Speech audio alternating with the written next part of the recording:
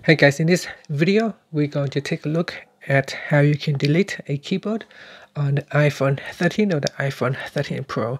Now, if your iPhone has too many keyboards that you don't use, then here's how you can delete it. First, let's go back to the home screen by swiping up at the bottom of the screen. On the home screen, tap on settings. In settings, you want to go down and tap on keyboard.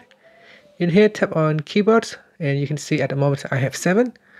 And in here to delete a keyboard you can tap on the edit button. And then in here you can tap on the keyboard and then tap on delete and then continue to do that.